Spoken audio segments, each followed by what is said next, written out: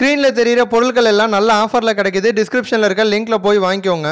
நண்பர்களே சாமி கும்பிடும் பொழுது ஏன் மணி அடிக்கிறோம் அப்படிங்கிறத பற்றி தான் இப்போ நம்ம பார்க்க போகிறோம் அதற்கு முன்னாடி நம்ம சேனலை சப்ஸ்கிரைப் பண்ணாதவங்க சிவப்பு பாக்ஸ் எழுத்தி சப்ஸ்கிரைப் பண்ணிடுங்க கூடவே பக்கத்தில் இருக்க பெல் பட்டனையும் அழுத்தி எங்களுடைய அப்டேட் செய்திகளை உடனுக்குடன் தெரிஞ்சுக்கோங்க.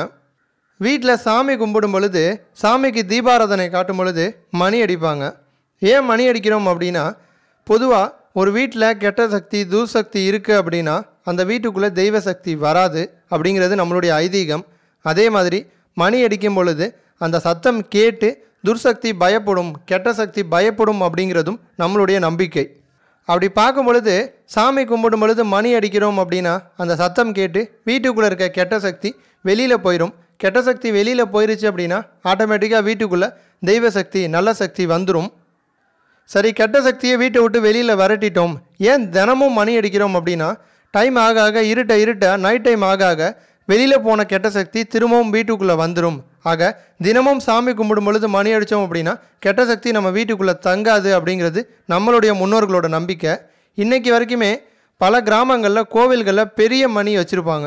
அந்த மணியெல்லாம் அடித்தோம் அப்படின்னா ஊருக்கே சத்தம் கேட்குற அளவுக்கு அதிகமான சத்தம் வரும். அந்த காலத்தில் இந்த மாதிரி மணிகளை வச்சு மணிகளை தினந்தோறும் சாமி கும்பிட்டு அடிக்கும் பொழுது கெட்ட சக்தி அந்த ஊர்லேயே அந்த கிராமத்திலே இருக்காது அப்படிங்கிறது நம்மளுடைய முன்னோர்களோட நம்பிக்கை. அதனால தான் இன்னைக்கு வரைக்கும் பெரிய பெரிய கோவில்களில் பெரிய பெரிய மணிகளை வச்சுருக்காங்க. இந்த வீடியோவை பற்றின உங்களது எண்ணங்களை கமெண்ட் பண்ணுங்கள் இந்த வீடியோ உங்களுக்கு பிடிச்சிருந்துச்சு அப்படின்னா மற்றவங்களுக்கும் ஷேர் பண்ணுங்கள் நன்றி.